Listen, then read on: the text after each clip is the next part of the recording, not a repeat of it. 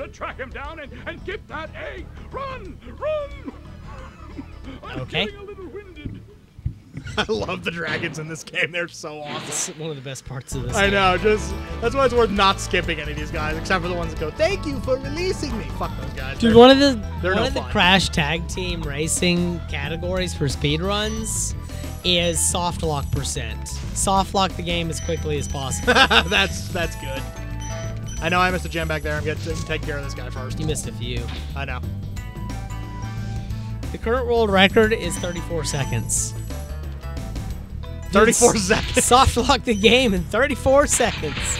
I wouldn't be surprised if it was the PS2 version that did that. Yeah, it is the PS2 version. Yeah, because let's be honest, the PS2 version was not the PS2 was not the most stable game systems. No, it was not. Pretty much, if you're gonna have a buggy or broken version of the game, it's gonna be the PS2 version. Sometimes, sometimes. Unless you're unless you're Aquaman Battle for Atlantis and just don't release on the PS2 because your game's so fucking broken it won't work for it. Yeah, apparently the three the Xbox version is far more stable than the GameCube version. That's why I'm assuming there was no PS2 version of that game, just because the PS2 couldn't fucking handle how broken it was. this game's really broken. We probably shouldn't release on the PS2. We're gonna release anyways on the fucking Xbox, because you know all those Xbox gamers want to play fucking Aquaman. Everyone wants to play Aquaman Battle for Atlantis. Right? By the way, that's how you get this fucking dragon. Thor! Thank you for releasing me. Fuck you, Thor. You're one of the bad dragons. Don't Google that, by the way. Fuck you, Thor. No, don't Google bad dragon. Don't do it. Bad dragon. Oh, Don't- I know what bad don't do dragon it. is. I know what bad dragon is. Oh hey, ki- oh, hey kids, we're done. That's what I love about this game. You just run around it and just be just see your gem counter hit the max. Like, oh shit, we're done, just like that.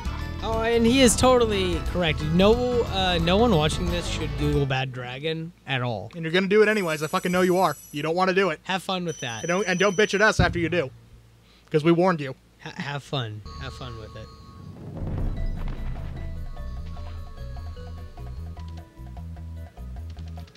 Uh, Now we can go fight the boss. Well, we technically we could fight the boss earlier, but I like to say the boss levels were the last part of the world. what's an or? Oh. Like I said, watch this. There's a Wikipedia page for Bad Oh, Dragon. Flash, do that again. The artisan's boss is through a portal behind me. You can challenge him now, if you feel you are ready. I don't know if I forgot to mention that or not, but that dragon's dialogue changes depending on whether or not you finished a level or not. Oh, really? Oh, Yeah. yeah. You, you mentioned that in the Lost recording we had. That's why I decided to show him off right there. Traceroute. When I was a kid, this level scared the shit out of me, and I'll sh- and I'll show you why very shortly. Oh wow! Apparently there is a uh, documentary called Traceroute about nerd culture, and they do a uh, interview with the founders of Bad Dragon. Oh, good. You see that? You see that gray lump over there? Yeah. That's a dog. Watch this. Oh shit! when I was a kid, those guys scared the shit out of me. This is the boss level, isn't it? This is the boss level, yeah. I like this level. These dogs only appear in this level, and thank fuck for that because they are scary as shit. Can't you charge them? No, Oh really? you can only flame them. That's why it's flame them from a distance, and when they wake up to try and attack you, jump and flame them again. That's the easiest way to get rid of them. Apparently, uh, part of the speed run of Spyro 1 involves using a glitch that lets you skip the final credits. Hmm, interesting. You know what it is? What's that? Uh, you engineer yourself in a way to where when you, uh, Beat Gnasty Gnorc, you die. When you, right as you're beating Gnasty Gnorc, when he dies, you die. So And basically, you wheel yourself around and fall in the lava. when he dies, you actually are supposed to game over. Interesting. So it sends you back to the world. That way you never have to watch the credits. I uh, likened these guys, the dogs, to the uh, the fucking piano in Mario 64. Oh, really? And everyone who's played Mario 64 knows exactly what I'm talking about because nobody knows when that thing's gonna fucking spring up. Brah!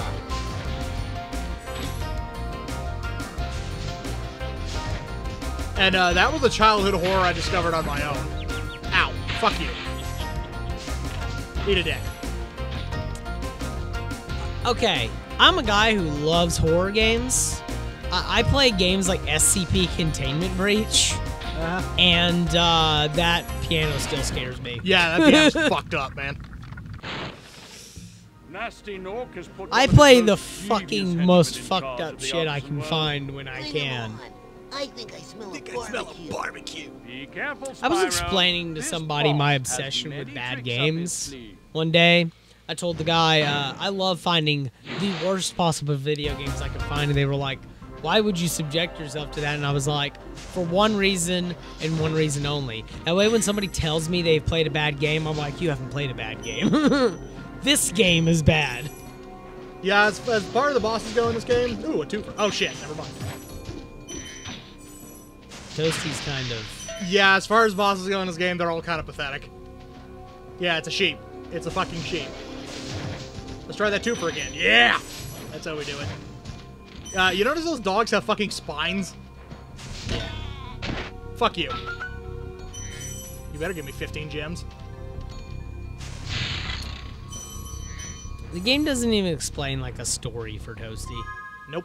He's just a sheep. He's just here. And that's uh, the first world completed. He's a sheepy sheep. Isn't this amazing? I That's love this sheepy. game. He's a sheepy sheepy sheep. I kind of want to watch this movie now. Oh, I was mentioning the technical aspects of this game earlier. Uh, Spyro invented something that would save the ass of so many 3D platform game developers What? in the long run. The uh, lower poly models Yeah. for uh, geometry. Like Nintendo had already started experimenting with- with this with Mario 64. Like if Mario's too far away from the camera, he's swapped out with a lower poly model. Ah. But this game did it with for the geometry. You notice how the uh, textures are like really plain on those trees over there? Yeah. And as we get closer to them, the more detailed models and textures pop in. Huh, I never noticed that before. Never noticed that. I know. I know, and nobody fucking knows that about this game. Seemingly nobody. And it's just so fucking cool that this game, one that I hold in such high regard, is responsible for something that just saved the ass of so many developers. Draw distance was a big thing. And you may notice this game doesn't fucking have one. We're gonna go to the next world now, Peacekeepers, where Pass we will cappers. where we will find the peace is not being kept. Pass cappers. So yeah, the Peacekeepers are doing pretty are doing a pretty shit job of uh Pass campers. of their namesake. Past campers.